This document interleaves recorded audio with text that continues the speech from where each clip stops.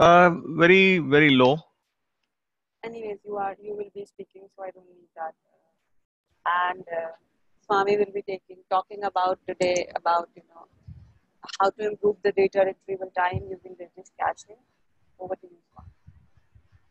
Hey, thanks, uh. Mm, So let me open uh, this Visual Studio instance. And uh, as in the previous uh, episode, this episode also the things, everything will get uh, saved in this repository uh, under this uh, brewing codes uh, session 2 uh, of July. Okay, everything will be here. So you guys can uh, focus on the topics, whatever we are discussing, and rest everything will be there for you guys. Okay, cool then. Um, so what we will do is we will build on top of the previous, uh, on top of the previous thing. So let's quickly uh, go back and uh, um, bring up that. Okay, so is the one.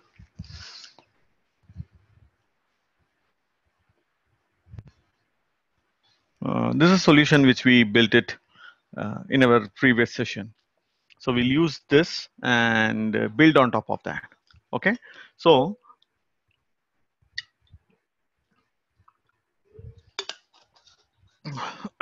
I'm sorry. So what do we do now today is uh, in previous session we built uh, a simple web API which has got uh, uh, three different layers apart from this uh, where we maintain the controllers. We have the application core, business logic layer, and data access layer, and we developed it. And this is going and talking to the professor's table inside the SQL server. Okay, so let's quickly spend one minute time, not more, and uh, go and check this. And let's see that uh, whatever we wrote is still working. And then what we will do is we will bring in the Redis cache into the mix, and then we'll add a few other methods. I'll have a glass of water for one second.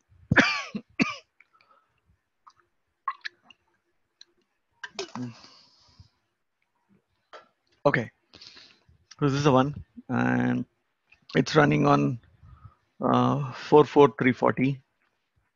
Let me go and open up this and the 44340 from the postman.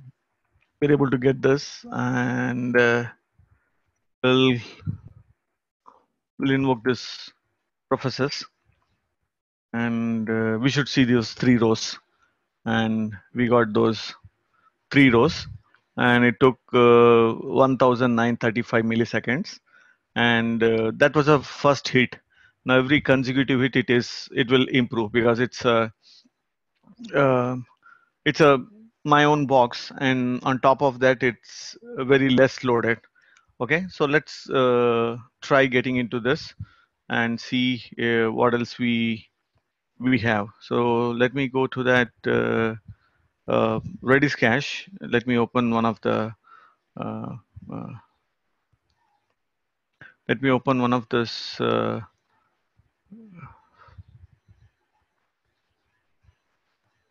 the demo script so that you know we'll be able to uh, see few of the things here. Okay. So the first thing what we will uh, do now is we'll go and uh, verify this. The redis cache you can install it um, on your uh, windows machine or else you can install it on uh, linux also. So why did why do we want to use this redis cache into the mix? So redis cache is what it is holding holding the data inside this. I'm, I'm sorry guys. One one second. Uh, one second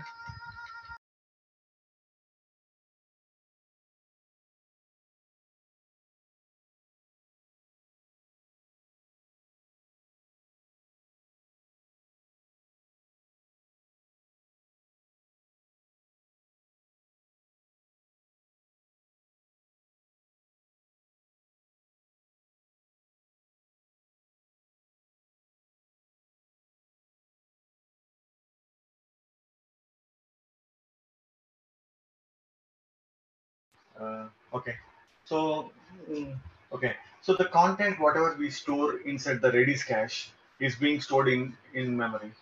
Okay. So if you are going and getting it, you're going and getting it from the SQL server, it will it might be in, inside some tables, and you need to go write a stored procedure or direct SQL queries, or sometimes you have to join and all those things. So that's one of the advantage. Another advantage is let's assume that you have executed a complex stored procedure or you have executed a complex join and processed some kind of records and assume that these records are not changing um, for next two hours or next one hour a minimum um, or it could be next 24 hours. It, it could be different use case. Let's assume a minimum one hour this information is not going to change. Let's assume that we are uh, mm, we, uh, we are doing a complex join on a tv program uh, on a tv channel. So uh, what is the current uh, uh, current programs which are executing in different languages? Let's assume uh, different tables are there and we are trying to the same channel is having in multiple languages and what is happening in each different languages something like that. So we made a complex query and we process this data. So this from 10 a.m to 11 a.m it, it executes the same program one hour program let's assume that. So that will not change until unless you give a new time uh, new time uh, time frame or something has changed really. So it, it, it in multiple uh, scenarios it will change. So in that case what will happen is uh, it makes sense for us to go and store this in redis cache.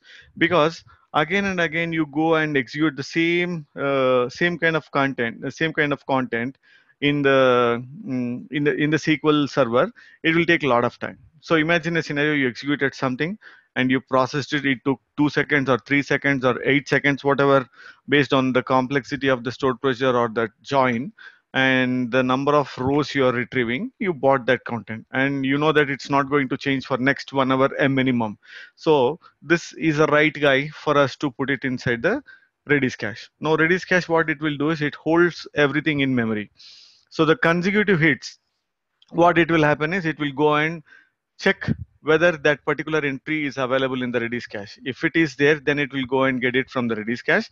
Else it will go and retrieve it from the SQL server. While we are, while we decide that we want to go ahead and use Redis cache into the mix, the first thing we should we should consider is the kind of content which we want to store it.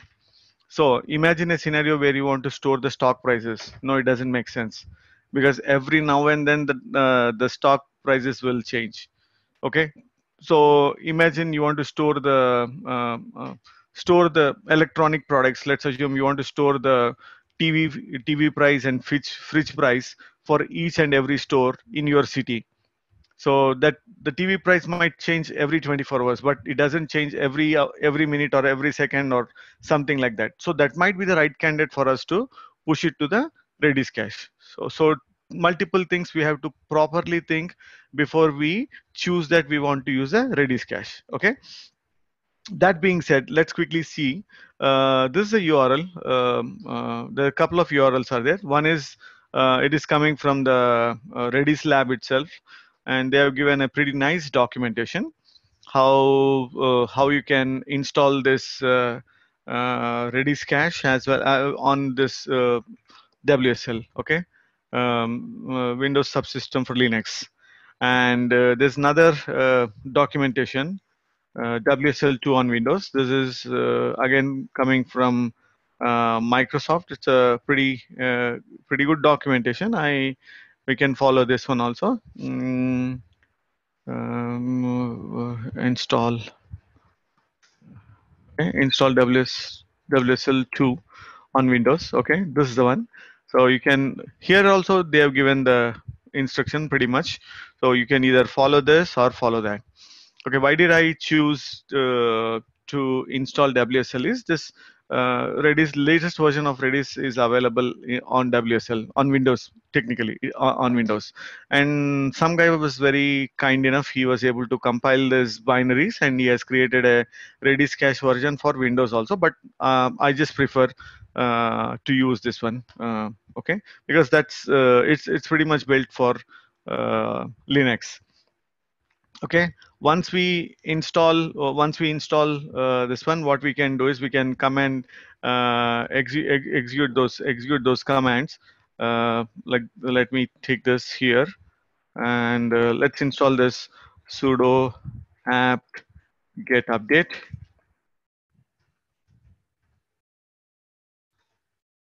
Technically this is a linux system. Uh, we'll we'll do sudo apt get update and then we'll do sudo apt get upgrade.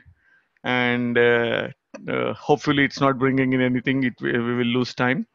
Um, because i just executed before the session.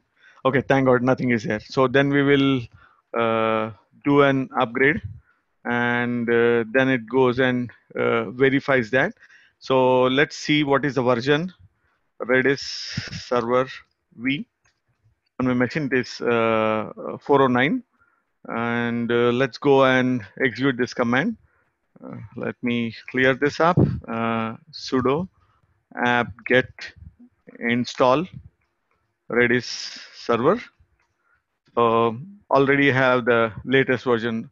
Already with the newest, it says that uh, okay, um, the version is same.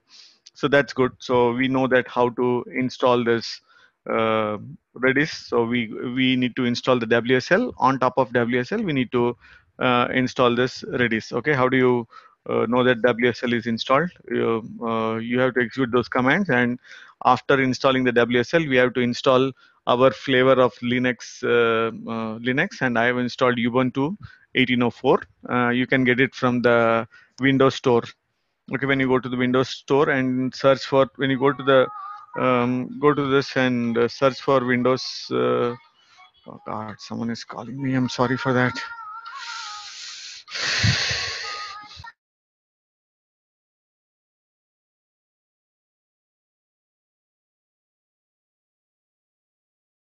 Okay. Sorry. Um, so uh, we have that. We i just installed it. So first thing how do you connect it? There are few commands which i listed it here. I'll push this one also. So we can uh, verify this uh, mm, lsb underscore release. Uh, okay. So lsbs are not there. Okay. So let's uh, okay hyphen a. Okay. That shows that it is uh, ubuntu 1804 on top of my uh, uh, Windows. So we can go to this uh, cat etc asterisk and release. So we can, it, this gives more information like the distribution name and what is the version and a lot of other details uh, you have it here okay so and then what we can do is uh, we saw that how we can install we need to do update and upgrade and then install it and uh, we saw that how to verify the versions. Okay now uh, uh, now we do that redis hyphen server hyphen v and similarly redis hyphen cli hyphen v. So it's, it's giving us both this information. You want to connect it redis hyphen cli so this is the command which will connect to the redis server. So sometimes if you're not able to connect nothing to panic. We need to execute sudo uh, service redis hyphen server start. Okay.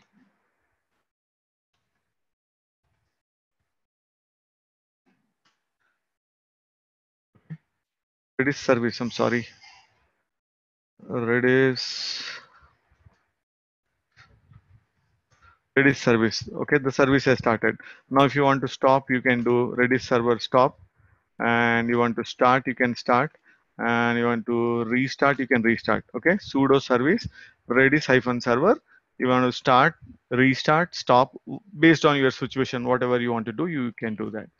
Okay, now come back and uh, connect it to the Redis CLI. So when you connect to the Redis CLI, it should show the prompt something like this 127.0.0.1 6379. So when it shows this prompt, that means you were you are successfully able to connect to Redis server. Now you want to check whether something is there here. So there's nothing in here. Okay. So that's our Redis server. So keeping this Redis server, what did we do is we already have those uh, two methods. So the primary methods, what we have at this point of time is uh, the professor's uh, the processes controller as well as the um, uh, uh, in the, inside the professors controller we have two uh, major methods. One is the get all professors and get professor by id so we have chosen these two methods to use the redis cache okay? And also we choose uh, to put this professor's information in the into the redis cache. And one of the reason why did we choose is uh, how many times in a year uh, a professor's information in a college is going to change in a year throughout a year in 365 days how many times it might change until unless a new professor is joining or a old professor is uh, leaving or uh, his title has changed or his uh, paycheck has been bumped up. It's a very rare scenario. I mean even if you consider uh, each professor's record is getting updated 10 times a year. That should be more more. Even if you bump up 50 times a year that is too very uh, too very high number but i'm just uh, throwing some number. So this kind of content is very uh, very much suitable to be uh, placed inside this redis cache instead of we going and getting it from the uh, database okay? So what it takes for us to convert this into uh, redis cache implement redis cache into the mix. Okay let's see that what what what it takes for us to uh, reach there. Okay the first thing what we will do is here like let's write an algorithm. Okay uh, verify uh, the content exists in redis cache. Okay if not uh, retrieve it from sql okay then store a copy in redis server. So what we first we will do is we will go and verify if the content exists. Okay if the content exists then deserialize the content. If the content exists then deserialize. Okay? So content exists in redis cache then deserialize. Okay? De- deserialize that. So that's it okay for this to be uh, to achieve this what else do we need? I think last time we have already seen this uh, in length. Uh, what is the dependency injection? How do we go about this dependency injection um, injection container and also the creation of this uh, objects? When when we are creating this controller it goes through the chain and it goes all the way till the last man standing to find out whether uh, uh, whether we can create an object or not okay? That's the thing we can uh, we have seen that in length okay? So we have to add this. So let's start uh, retrieving this.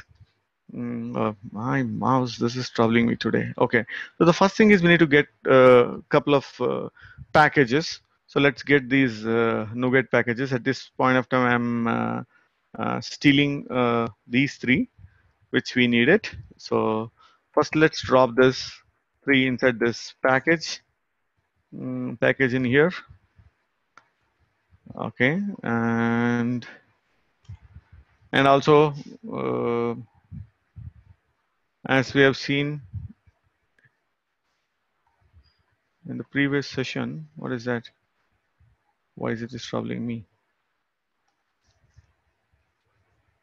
okay cool. It has it has bought it and one more change i need to do is uh, i need to change the GUID okay it's the same GUID let me check that.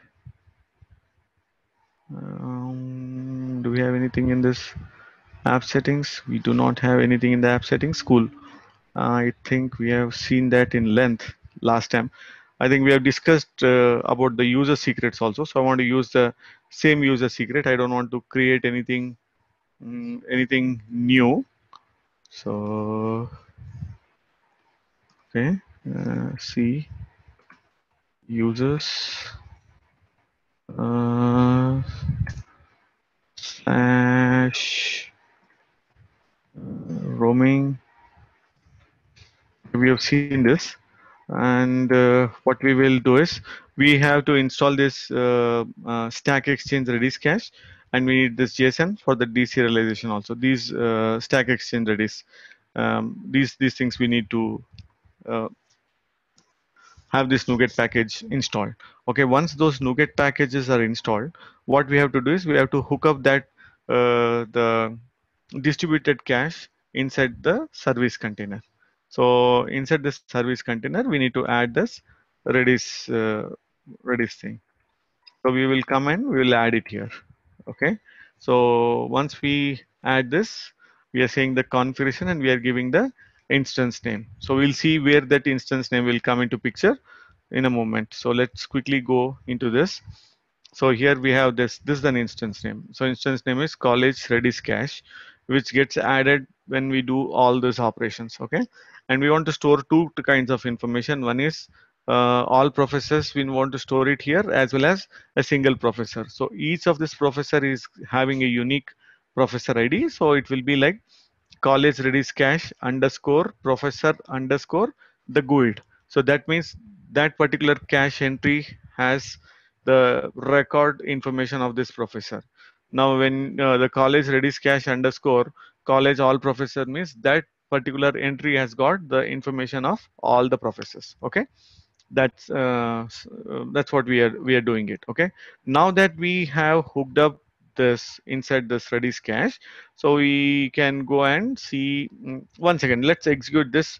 Anyways we have seen it in length but just for a uh, fraction of second we'll stop there and uh, quickly see those uh, those two items getting added in uh, into this container so let's go there Mm, okay, so services do a shift F9 and you go into this. There are 160, uh, 169 items. Let me do um, come to the scroll to the bottom of this where you can see the uh, DB connections. Okay, so these these three were um, of our uh, DB context and these professors BLL and DAL and these two are fr coming from the caching distributed caching and mm, configure configure options okay? These two are the new things which has been added. So now as we see it in uh, professors controller anytime we need something anytime we need something uh, we can come in here and uh, request for that particular dependency because we already loaded in in the container. So let's come in here real quick and uh, go to this professors controller, we have to create a, a, uh, a private a private variable i distributed cache because this we already created it and hooked it up so we don't need to worry anything. And uh, and we need to add it as part of the dependency injection and let me uh, create it a little space. And I I go in here and add this. Okay now that the cache has been added as part of the dependency injection. Okay the first thing is we need to retrieve uh, try to retrieve it from the cache. So the first line what it should be is we should go uh, get this item. Okay we should go and uh, verify that the entry exists in the cache. Okay so let me bring in this constants. So first we are trying to go retrieve it from the constants uh, sorry uh, from the cache. So if at all it exists in the cache. So if at all uh, if the content exists in the cache so that's this one. Okay the content exists in the cache. Then all we need to do is simply deserialize that. Okay simply we will deserialize that. And else block else else block we already decided that we will go and retrieve the content from the SQL server. Okay so let's go and grab this guy and drop it so next thing what we have to do is we have to store a copy also in the SQL server right so the first thing is we are uh, checking whether that content exists in cache. If it exists, that means uh, if it is not equal to null, then mean then means it exists, and we will deserialize that from the content which we have retrieved from the Redis cache. Okay, if that doesn't exist, then we are going and retrieving from the SQL server, and uh, then we will store a copy inside the uh, store a copy inside our uh, Redis cache because from the next time onwards, we don't need to again go and hit the database. All we can do is we can find out if the entry exists in the cache, use that cache one. If it is, if it isn't, then we'll go and get it from the SQL server. Okay, so then what we will do, we'll directly drop uh, drop a copy inside this. Uh, uh, then drop a copy inside this, and um, for this scenario, because as as we were discussing a few points, one of the thing is we need to know the invalidation of the cache when we need to invalidate the cache. For this uh, sample, I just I'm just invalidating the cache every 60 seconds. Okay, but it should come through programmatically. That we will see in the um, uh, session three of this web API, how to do invalidation of the cache when we add new records or when we do something. Okay, at this point of time, let's stick to uh, the game plan. Like we will see uh, how can we incorporate Redis cache into the mix where we can improve the retrieval times. Okay, so we have seen this one. So similarly, we have to do it for the um, uh, professor ID also. Okay, so let to speed up the time, what I'm uh, doing is, um, okay, we need to add, because the type of ID, we, we already seen it. We, we thought that we, we have decided that it will be like, um, uh, like this college professor. If you go, it should be college Redis cache underscore professor underscore ID. So for that kind, we are retrieving this uh, single professor. That means professor underscore, and it comes whatever the ID which is coming is at as part of the route parameter. We are we are adding it to this line. So it will be college Redis cache underscore single professor underscore that professor ID. So that's a unique key we are generating to store the uh, single professor's information. So what, then what we are doing is the similar fashion. So whatever this single line which we are doing it here. The entire thing we are uh, wrapping up here and we do an await. Okay? And so what happen is we will uh, uh, check this information in the redis cache. If it is so same thing. If it is exists we'll deserialize. If it is doesn't then we bring it and then we drop a copy. Cool then so that's pretty much. So let me uh, try compiling it. If it is working well and good, it, if it is not working, then again, good, we will learn something from our mistakes. Okay, it's working. So the first thing what we will do is we'll place uh, a debugger here. Okay, then let me go.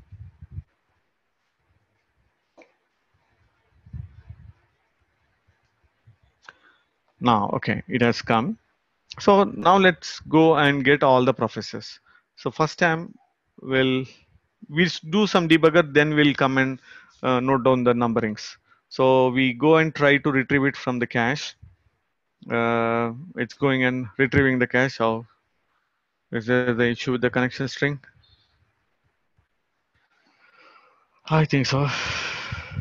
I think so. There's some issue in the connection string. If it is taking this much time, that clearly shows that there's an issue in the connection string. Mm,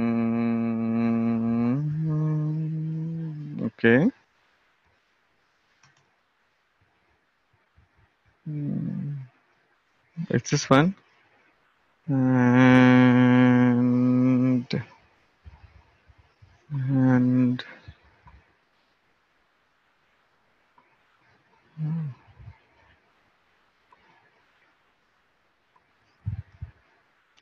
That's a sure shot. That's an issue with that. One second. Let me go. Uh, grab this guy.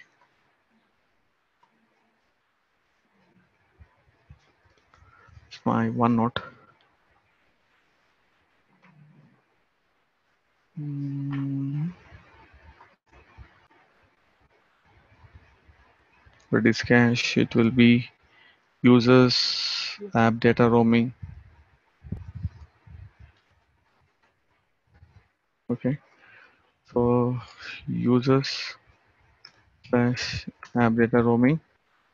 So here is the secret which we have it let's come in here and open that secret file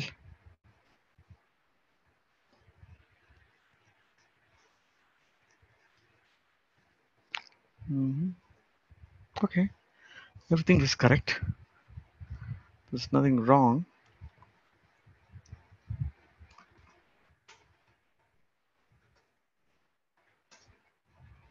Right it's correct. And I go into the startup.cs and let's check in here. What is that it is coming?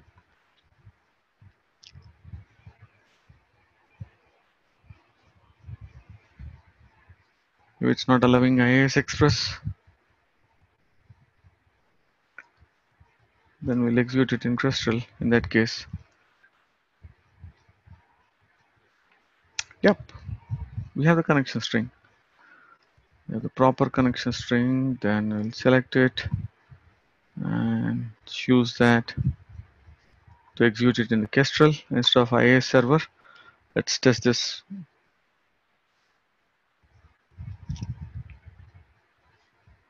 Okay I don't need to place the debugger. So okay. Now again we'll hit that okay. It's uh, 5001 I assume. Yeah it's 5002 mm, Kestrel it is 5002 and let me uh, get this information from the cache. Ooh, it's not allowing me. Uh, Redis connection. Unable to connect to 127 or 127 what is that port? One second. 6379 yes. 6379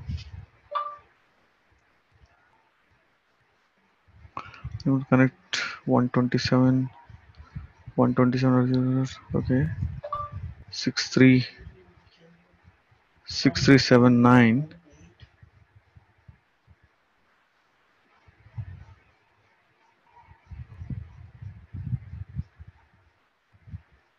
why it is not uh, interactive?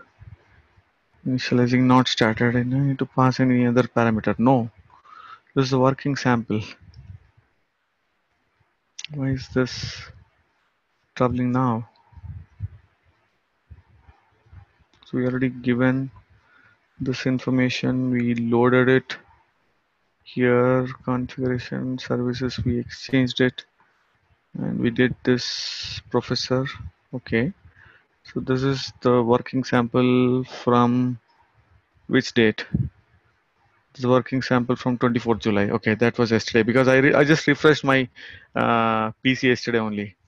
I just installed all this software uh, all these softwares yesterday. You can uh, see that? I just downloaded yesterday. So that might be some issue but let let me check that. Whether yesterday's program is working or not we'll check that. If that is also not working that means it's a permission issue because i need to check that because i just installed this uh, pc uh, last night. Mm, so let me go to that. Here uh, that github speaker series and in general this is the one which I worked yesterday.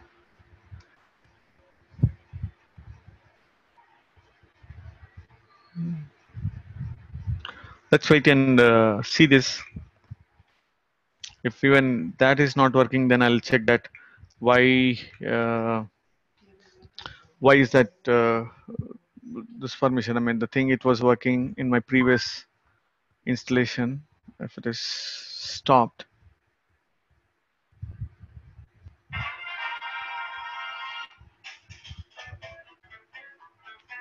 Okay, so this is the one which I uh, demonstrated demonstrated yesterday. So let me check that.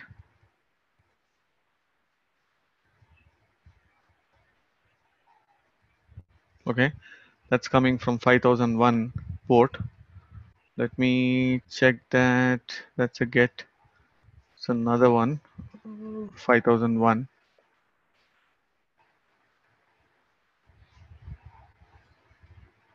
Oh,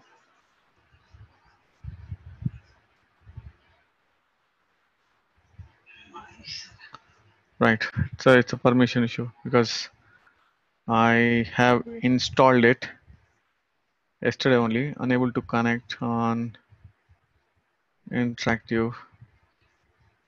No connection is active or available to this service, this operation. Okay. Redis connection exception, unable to connect. No, it was, it's working sample. Okay, I'll check this guys. Um, uh, I'll check this why, because even the yesterday's thing, whatever I was working, even that piece was, uh, that piece is also not working. That means it's uh, purely the connection thing. I demonstrated this demo yesterday, yesterday also. So the thing which was working yesterday, stopped working. It's uh, because of that permission issue. Uh, for us to get going, what I will do is I will uh, comment these things so that we can uh, revisit revisit in the next session. So I think now, uh, okay, now I'll uh, block all those things, whatever the code which you have written for the Redis cache, and we'll proceed with uh, adding more methods into this. I'll just get back on that permission issue. I'll just post it. Uh, what did I fix it? So, okay. So right now we have only these uh, two methods because I just verified even this connection strings is also um, uh, is also good. So just just uh, for a moment we will uh, check did I miss anything. Mm, Redis connection string 127 dot 0 dot 0 dot 1 0 dot 0 dot 1 uh, 63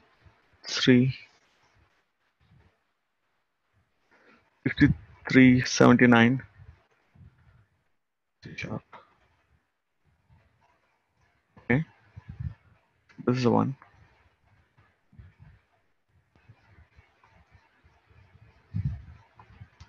Okay. So when you're connecting uh, basic connection string you can do this way let's we'll see that. Um,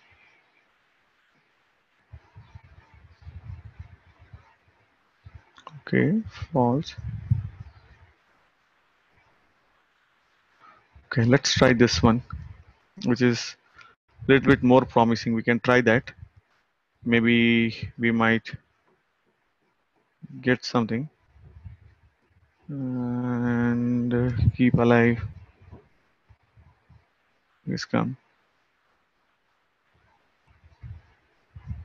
No connection is available. Okay some other people are also facing this problem. I was uh, never facing i was never facing this problem previously. I don't know why is that it has started now. Mm. Okay let's give this a shot real quick. If it is working well and good if it is not then we'll see that. Uh, I'll copy this to the notepad and then we'll change it. Okay uh, this connection string I'm taking it from here all the way till here. Okay, let's give that a shot instead what I'll do is I'll copy paste it this one into this and modify it here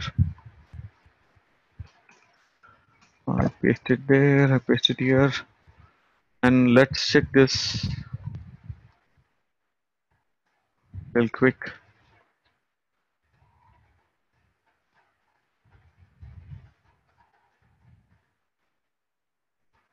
I will modify this. Let's give this a shot real quick. Uh, if it is allow admin about connect false default database connection timeout and uh, connection retry. I mean, it shouldn't take that much time. I mean, the moment it was taking a lot of time, I understood that there is some issue.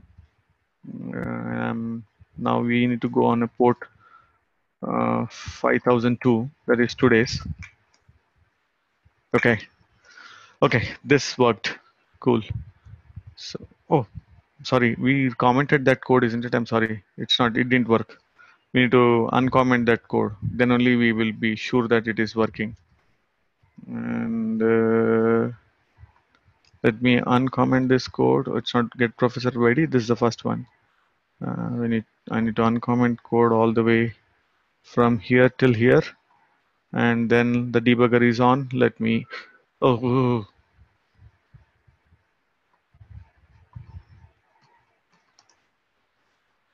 Anything else is missing? Nothing? Okay. Nothing is missing. So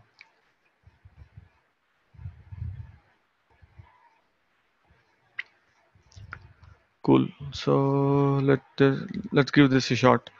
And I do an F10. It's taking this much time gone. It shouldn't it, it should come within a fraction of second. Um, it shouldn't unable to connect to this one. I think there is uh, some permission issue because I have installed this box yesterday only. So because of that, it is uh, troubling me. Like I, I will check this, guys. No problem. We'll we'll go ahead with uh, our uh, other discussion, and then we'll uh, revisit this in the next session. Okay, this along with the um, uh, invalid uh, invalidation invalidation of the uh, cache. Okay. Um, so now we only have these two methods. Now we only have this um, uh, get all professors and get professor by ID. Only we have these two methods.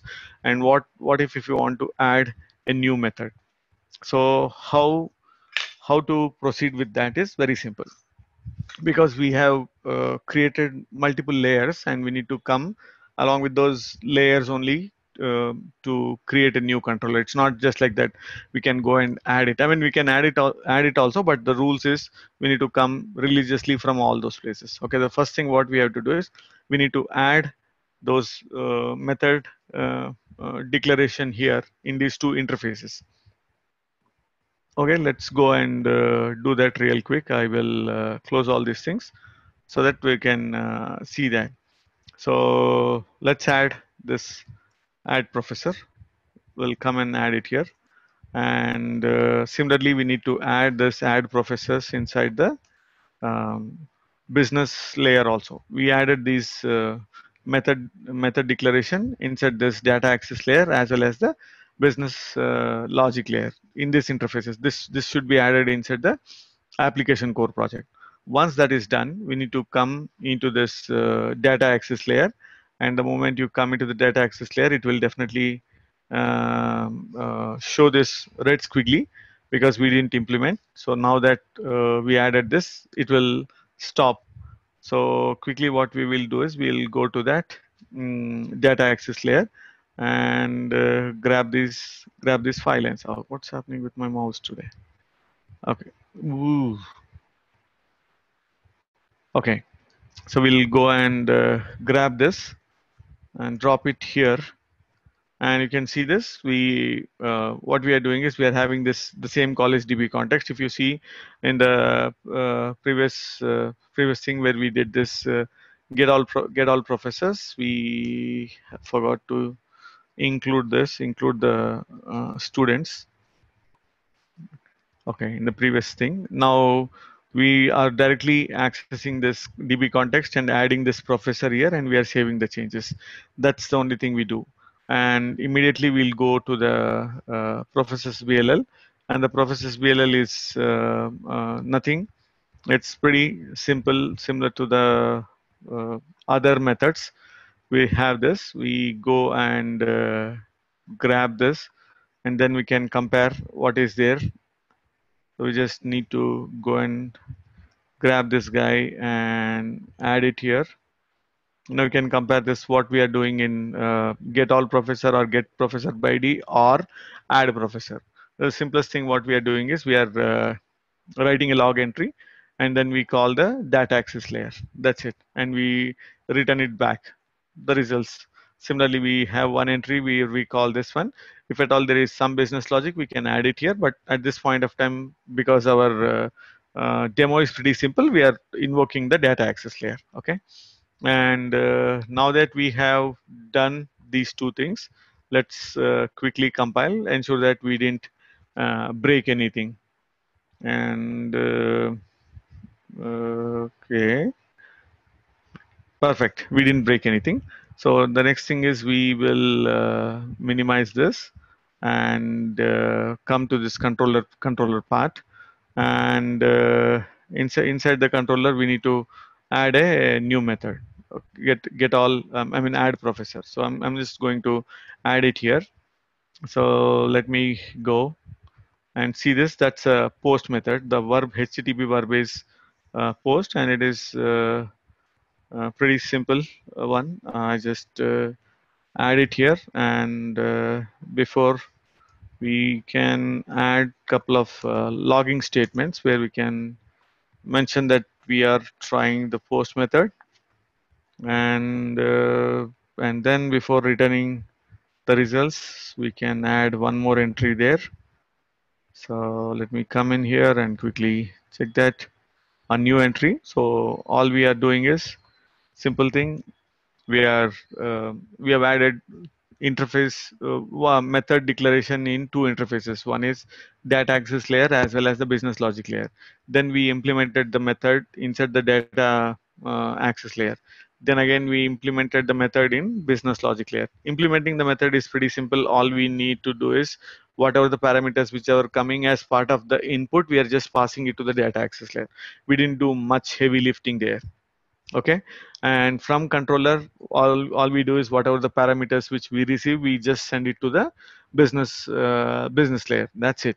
So now if I go and quickly build this, so see that it is uh, executing. So now let me come and execute this. Uh, okay, so it's executing.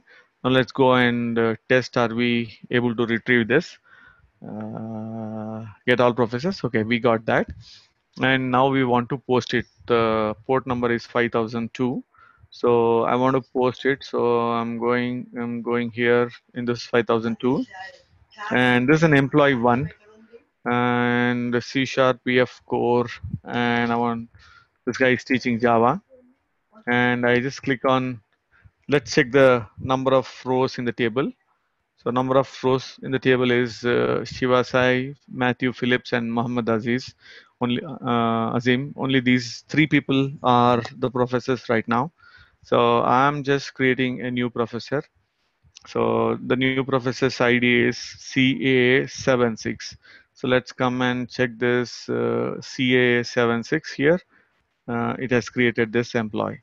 Now, if I want to retrieve this employee, so again, I can go and verify, um, uh, get all, uh, get professor by ID. So that is uh, 5002.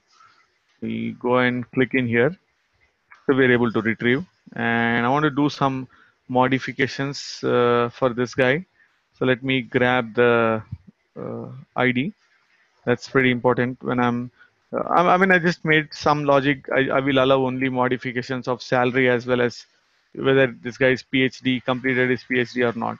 So I'm not allowing anything else to get modified. So that's it's just my own cooked up logic. Uh, so don't worry.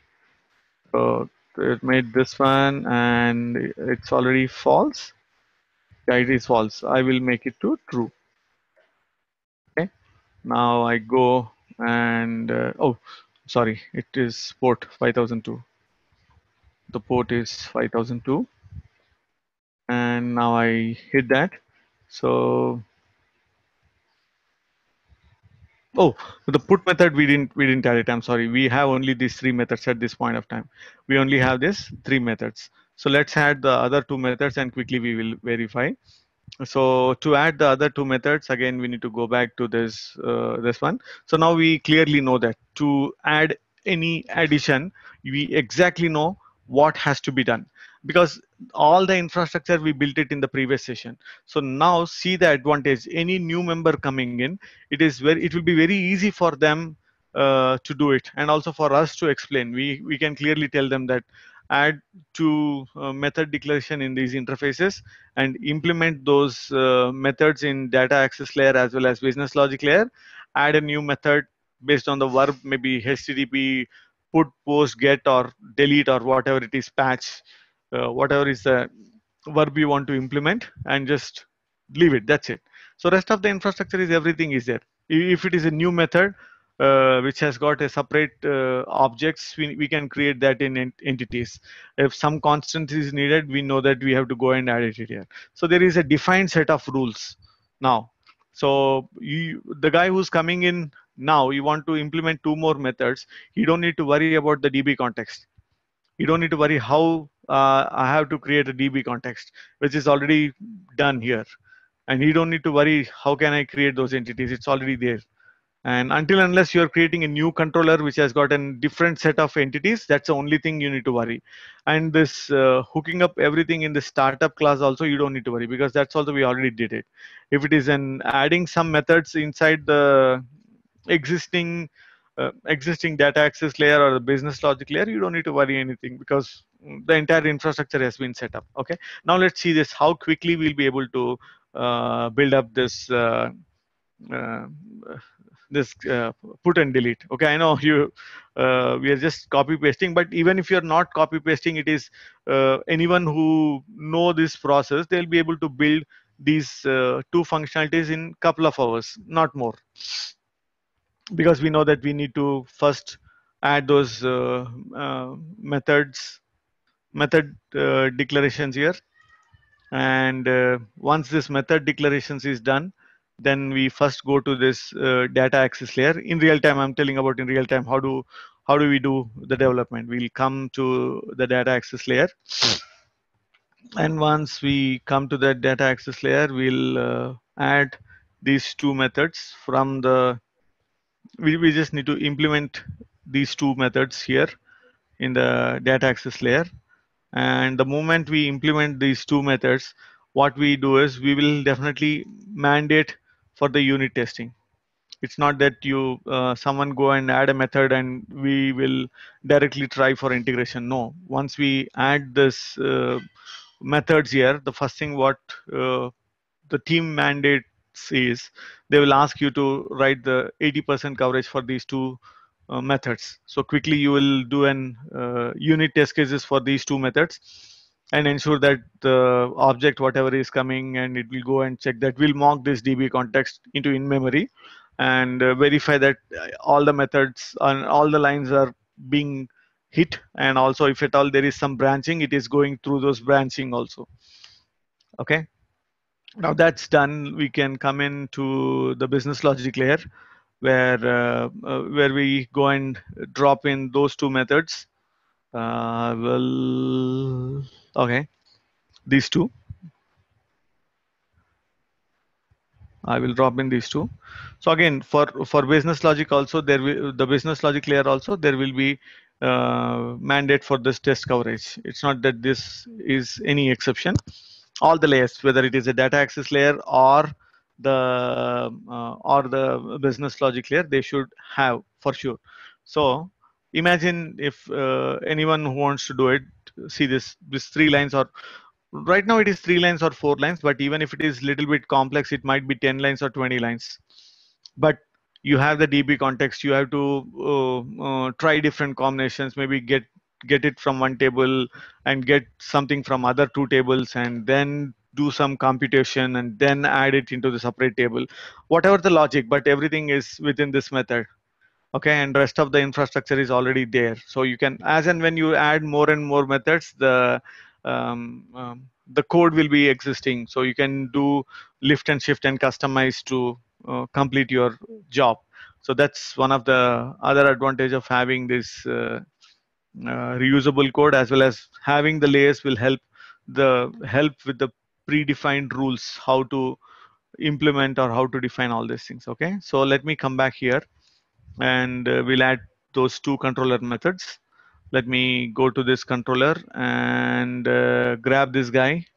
These two guys here the um, update professors as well as the put and delete verb also we are uh, we are implementing. So we drop this put and update. So let's continue now. And uh, and we'll see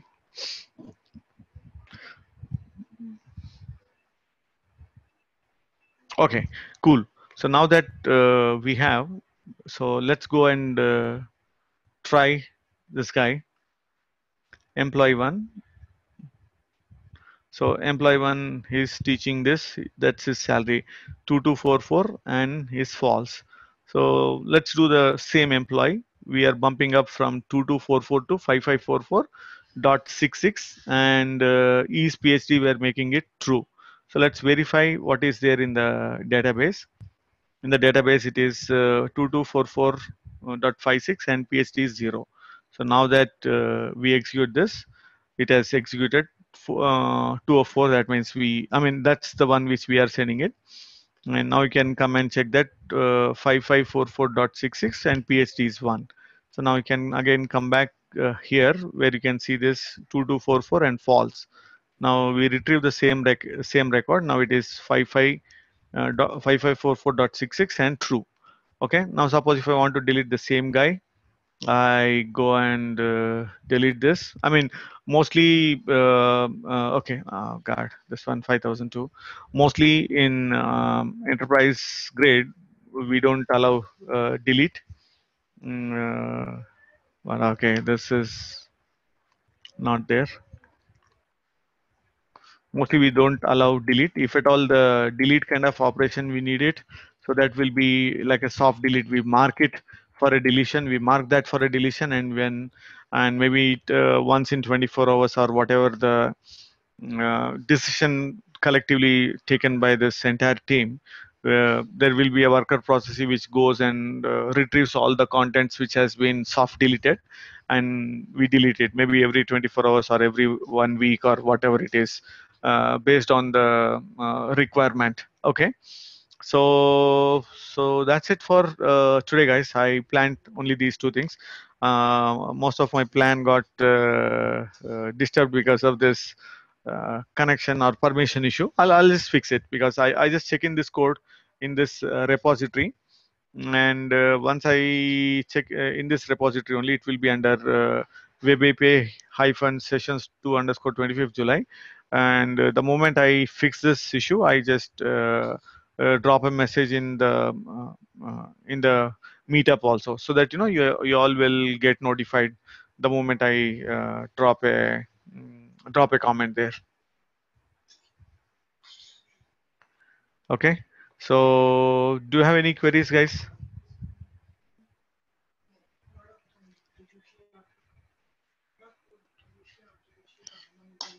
hello?